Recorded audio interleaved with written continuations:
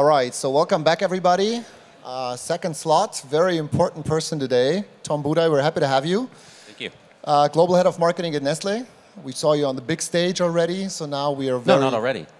12:15. 12:15. No, no. See, I saw so many people. You will see I in slept through it. 12:15. In an so we are even more honored to have you on the small stage before. It's my pleasure. So we wanted to discuss a few questions Yeah. about, you know, of course, your company, you as, as a private person. Um, is the first question would be: Is human-to-human uh, advertising the next big thing versus B2B and B2C? Because we read and hear more and more about it's human-to-human. So what is Yeah. your opinion on that? I, I think um, I think human to human is not the next big thing. It was the first big thing. It was it was uh, it was always human to human, you know. And we we used um, words or sort of business defined categorizations of people as uh, business leaders or in, in my business consumers, shoppers, media audience. This this this is one of the things I'll um, discuss in my talk. That yeah, these are human beings. Um, they are and they always have been. In the past, it used to be um, the golden rule that content is king. And now, with all the platforms and technologies, um, is it still king, or is creativity and the kind of creativity on special platforms king in the future? So, so not to not to sound you know disagreeable, but co- content for us is not king. Content is an enabler to what is king. What is king for us is is um, uh, selling brands and products that enhance the quality of consumers' lives through nutrition and its contribution to health, happiness, and wellness. That, that for us is king, and content is a critically important enabler to allowing us to um, to achieve king status, if you will. And what does brand engagement mean to you? Brand engagement means that our um, communication content is attractive and rewarding. Attractive means that consumers seek it out, they don't run away, and uh, they, they like to hear from Nespresso or Perrier or San Pellegrino. And rewarding means that if we can get them to invest 10 seconds, 3 minutes, 30 minutes of their time, they feel rewarded uh, so that they want to come back again. As far as I know, you, you're a brand expert for pets, all kind of different pets. Do you have a dog or a pet yourself? Of course, yeah. We have an eight-year-old Wheaten Terrier. Uh, her name is Gracie, and um, grown up very well on Purina products all her life. So you got your focus group at home. Exactly. Do we have a personal love brand beside Nestle, I guess, but some other brand you really are in love with, you use for years already, and you stick with, and why? Um, you know, Purina is a love brand. Purina's core mission in life is to um, enrich the lives of pets and the and the, the people who love them. That's a that's a mission that means a lot to me personally. Um, within the Nestle portfolio, I'm a huge Nespresso fan. The product, I believe, is fantastic, and, and, and the brand is equally powerful. Um, outside the Nestle world, um, yeah, I, I'm actually a fan of Facebook as a brand and the way the Facebook team is managing the Facebook brand, in an, and not, not a simple or easy uh, brand to manage, but I think they're doing some good work to uh, try to turn Facebook as a brand into a love mark.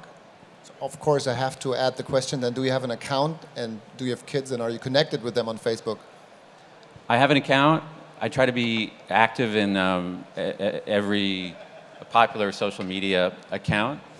Um, this. And oh, thank you. And um, you know, we don't have children, so uh, so I have to rely on myself. So there are enough other friends, I guess, and colleagues and whatever. Yeah, but I think I think it's I think it's important for marketeers, even even old guys like me, to stay connected to the platforms. I think you know there's a certain amount you can learn by looking over the shoulder of a 22 year old, but a lot of it you have to experience yourself. Today we, uh, we are talking and, and looking at a lot of performance and response-driven marketing campaigns. Um, is this the major type of advertising and marketing instruments and tools you use in, in Nestle um, because of measurability and, and, and other factors? Or are classical TV, linear TV campaigns still the major type of, let's say, communication? Not budget-wise, but in terms of and Yeah, I would say that um, you know everything we do, every dollar or Swiss franc that we spend should, in principle, be performance driven. If it's not, then we should question what exactly we're doing. Then you come to the question of measurability, and of course, certain channels or contact points are more inherently measurable than others are. In our world, where the vast majority of products we sell are um, offline. We have an increasing percentage of products sold online, but still the majority is sold offline. The, the measurement of real performance is sometimes difficult to get at, but, but we don't avoid um, uh, channels or platforms simply because there's lack of measurability. If the platform feels right for, for us and the team, if it's a good strategic fit, if it seems to deliver um, the right audience and give us the opportunity to tell our story in a proper way, um, we go after it. And if the measurement is not there initially, okay, we can, we can live that with that, and then we get to work on measurability, trying to um, make it as accountable as it can be. So, measuring campaigns and getting getting a sea of data out of it means, of course, that we have to be able to sail this sea of data. How do you manage you and your teams to, to you know process and, and to profit and benefit from all this huge amount of data? Yeah, it, it, it's a really good question. So, you know, Nestle, I think everybody knows it's a, it's a very big company. We have lots of brands. We're in many categories around the world.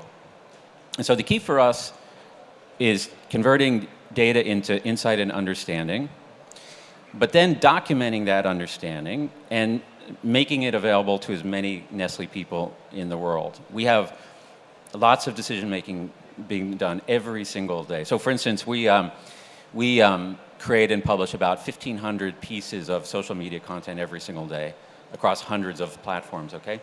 Which means every day we're learning stuff about engagement, about brand and business impact, and so on and so forth.